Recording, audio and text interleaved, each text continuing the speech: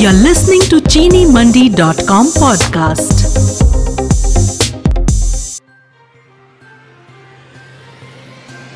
Sugar production crosses 700 lakh quintal in Maharashtra. Sugar recovery 10.14% in Pune region. 183 sugar mills operation in Maharashtra.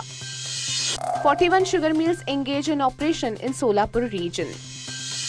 HCL Technologies announces rupees 700 crore one-time bonus for employees.